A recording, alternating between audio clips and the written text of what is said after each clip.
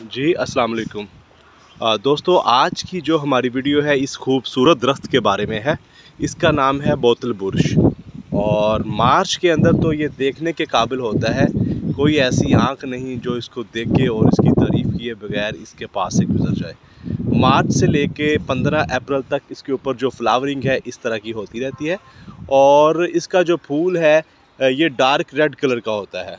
ये देखिए इसी मुनासबत से इसका नाम जो बुरश की तरह का फूल होता है इसलिए हम इसको बोतल बुरश के नाम से पुकारते हैं और जानते हैं। ये एक हार्डी प्लांट है और एक दरख्त टाइप है।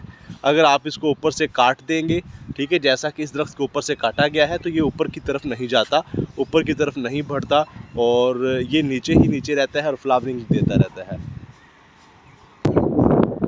और अगर इस पौधे को यूँ ही बढ़ने दिया जाए तो ये 15 से 20 फुट हाइट का एक दरख्त बन जाता है, ठीक है? तो और इसको कोई इतनी ज़्यादा पानी की ज़रूरत भी नहीं होती, ठीक है? हम कहेंगे इसको बहुत ज़्यादा पानी की ज़रूरत है, बहुत ज़्यादा केयर की ज़रूरत है तो ऐसी कोई बात नहीं है। ये एक हार्डी प्लांट है, आप इसको कहीं भी प्लांट कर सकते हैं। और इसकी दो टाइप्स होती हैं, एक में जो फूल होता है वो कम होते हैं और फूल का जो साइज़ होता है वो छोटा होता है। वो आम जो बोतल बुरश है, एक जो बोतल बुरश है, उसको ड्वार्फ बोलते हैं। वो कद में साइज़ में छोटा रहता है और उसके ऊपर जो फूल हैं, वो घने होते हैं। और ये जो वैरायटी है, ये ड्वार्फ वाली है। ठीक है? इसके अंदर जो डार्क कलर है, ये ज़्यादा होता है और फूलों के बाल हैं, ये ज़्यादा होते हैं। किसी भी आपको अच्छी नर्सरी से बोतल बुरश का जो पौधा है, ये पचास साठ रुपये सौ रुपये तक ईजीली मिल जाता है।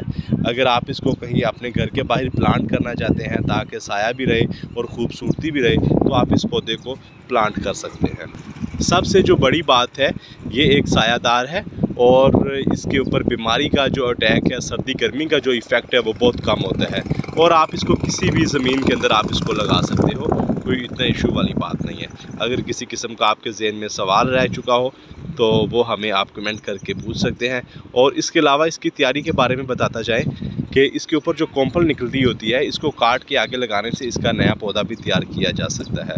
लेकिन उसको किसी स्पेशल नर्सरी वाला बंदा तैयार कर सकता है। हर आम बंदे पास का रोक नहीं है। आप इसको वैसे ट्राई कर सकते हैं, ठीक है, लेकिन एक्सपर्ट इसका होना, किस इन्वायरमेंट के अंदर आप लगा रहे हैं, उसको टेम्परेचर कितना दे रहे हैं पानी कितना दे रहे हैं, ये सारे जो फैक्टर है, वो मद्देनज़र रखते हैं, होते हैं।